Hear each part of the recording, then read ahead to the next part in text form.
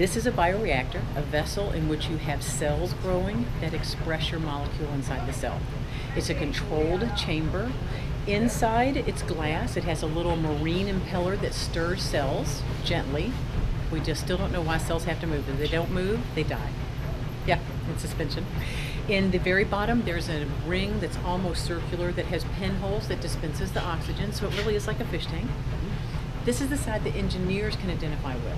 The size of the internal chamber, what kind of unit needs how much oxygen for what level and how slowly or quickly this and then the biologists microbiologists biochemists they understand the genetic side and the cloning and the cells and all that. Outside there's another jacket that you can hook a hose up to mm-hmm. that will circulate water around the jacket to help in, ensure the temperature stays the same. Oh, when cells divide they get very hot. They, they put off a lot of energy so you have to make sure they don't get too hot.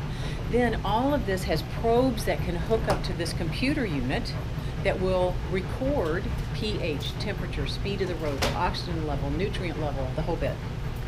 Because you have to do that. If FDA is letting you grow a molecule, a, a cell with a molecule expressed in it that's eventually going to be injected in people, they have to know from beginning to end what went on, and it's got to be computer tracked. It can't be people. Oh, don't worry, it didn't go out of pH. It's like, yeah, right. we have a way to control that and check it. Wow. So the students are in this classroom for every step growing, harvest, purification. And they're in light gowning, not even head covers. So it gets them used to the lab setting, the science, the equipment, everything at once coming in one course. Then they will shift to the next ones that I show you. It is awesome. It's so much.